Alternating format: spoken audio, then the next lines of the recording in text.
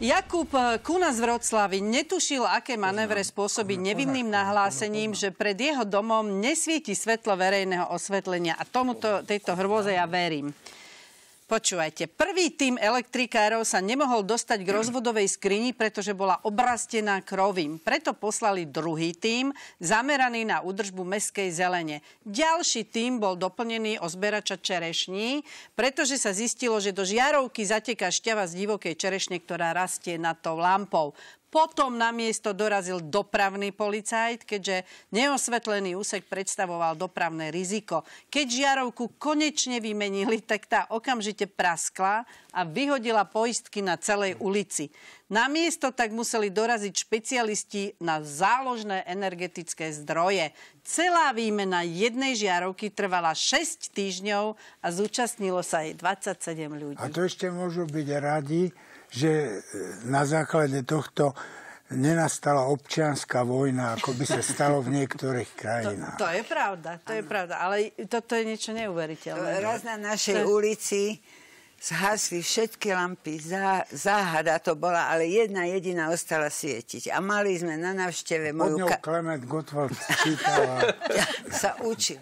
Áno, a to vtedy ale muselo snežiť. A to tu tedy nesnežilo.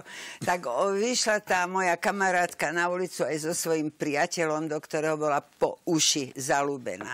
A teda do tmavej ulice vošli a ona si myslela, že v tej tme už konečne jej vyzná lásku, že ju začne boskávať alebo čo.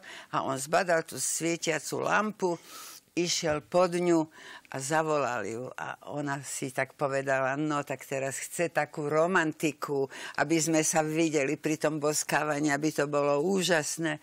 Tak už tak očakávala, prišla k nemu a on si otvoril ústa a vedel si otočiť jazyk, to bolo hore, tak to si ho vedel otočiť. A keď, keď jej to spravil, povedala, dokážeš toto?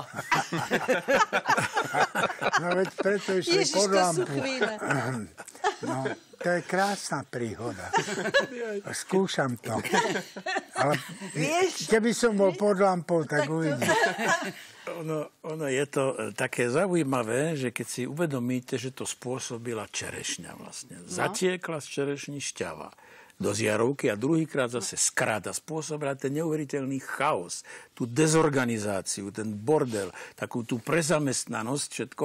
Ja som to doteraz som nevedel, že čerešňa dokáže niečo také spôsobiť, ale rozumiem jednej veci, že pred voľbami si komunisti vybrali čerešňu ako symbol. Teraz Vidíš? je mi to jasné. No, no. konečne si pochopil Áno, po rokoch. Som, no. Po rokoch. Ja, ja som len rád, Eni, že no. sme, sme sa vďaka, vďaka tejto správe dozvedeli, že aj u Poliakov majú svojho hlasicu, len sa volá Kuna. Neviem, či ste si všimli.